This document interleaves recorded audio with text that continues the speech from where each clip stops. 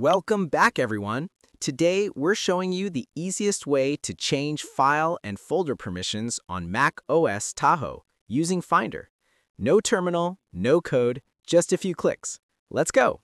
First, locate the file or folder you want to fix. Right-click it or control-click and select Get Info. A window pops up. Scroll all the way down to Sharing and Permissions. You'll see a little lock icon. Click it. Enter your admin password when prompted. This unlocks the permissions settings. Now, look at the list. You'll see your user account and groups like Everyone. To change access, click the drop-down next to a user. Choose from Read and Write, Full Control, Read Only, Can View, Can't Edit, No Access, Completely Blocked.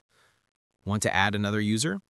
Click the plus button, search for their name, and set their permission. If this is a folder and you want to apply changes to everything inside, click the gear icon at the bottom, then select Apply to Enclosed Items, pushing your new permission settings to every file, folder, and nested item inside instantly.